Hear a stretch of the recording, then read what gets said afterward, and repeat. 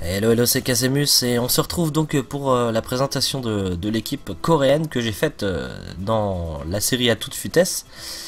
Et comme vous me l'aviez demandé, j'ai décidé donc de faire cette petite vidéo à part. hein. Donc au niveau du gardien, je me suis pas embêté, j'ai pris le meilleur gardien coréen, euh, c'est le meilleur tout simplement. Au niveau du défenseur droit, alors déjà on sait que la base de la série c'est la vitesse, hein.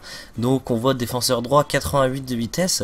Euh, ce qui rentre en compte aussi un petit peu c'est le physique quand même qui est important que j'ai pris en compte, euh, plus ou moins. Euh, c'est des défenseurs temporaires. De toute façon, je vais vous en parler un tout petit peu après euh, dans la vidéo, puisqu'on va voir l'équipe concept, celle que je vais essayer d'avoir au fil des matchs et très prochainement, j'espère. Hongchul, donc le fameux, un très très bon joueur, un très bon défenseur. On voit qu'il est plutôt complet pour un niveau global de 69. Je trouve que c'est un joueur qui vaut qui vaut le coup.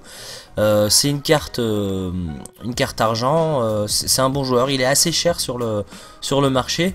Bon voilà il a une petite faiblesse en tir mais ça c'est pas bien grave.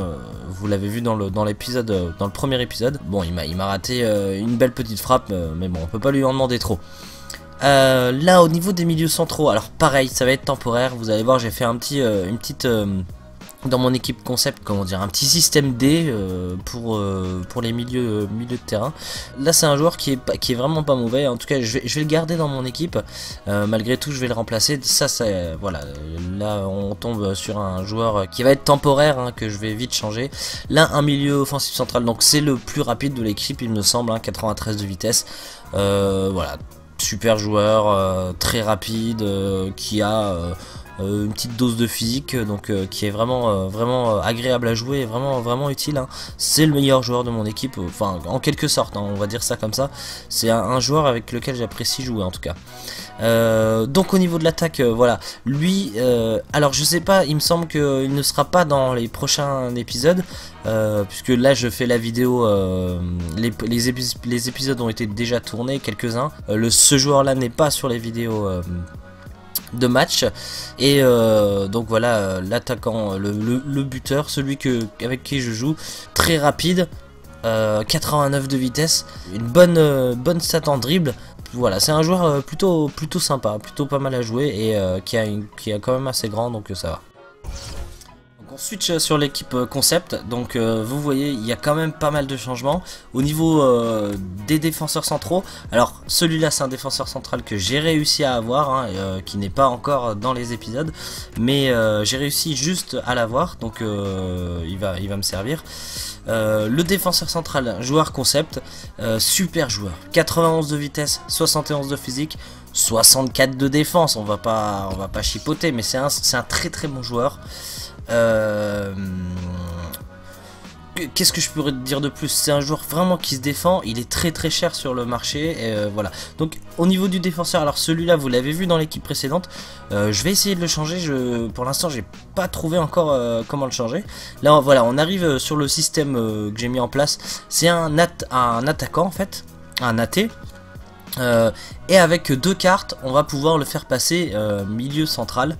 Euh, le point négatif de faire cela, c'est que euh, on peut le voir, le rendement du joueur attaque-défense ne va pas changer et il aura un rendement moyen en attaque et faible en défense. Donc euh, bon voilà, c'est un joueur qui est uniquement rapide, je l'ai pris que pour ça.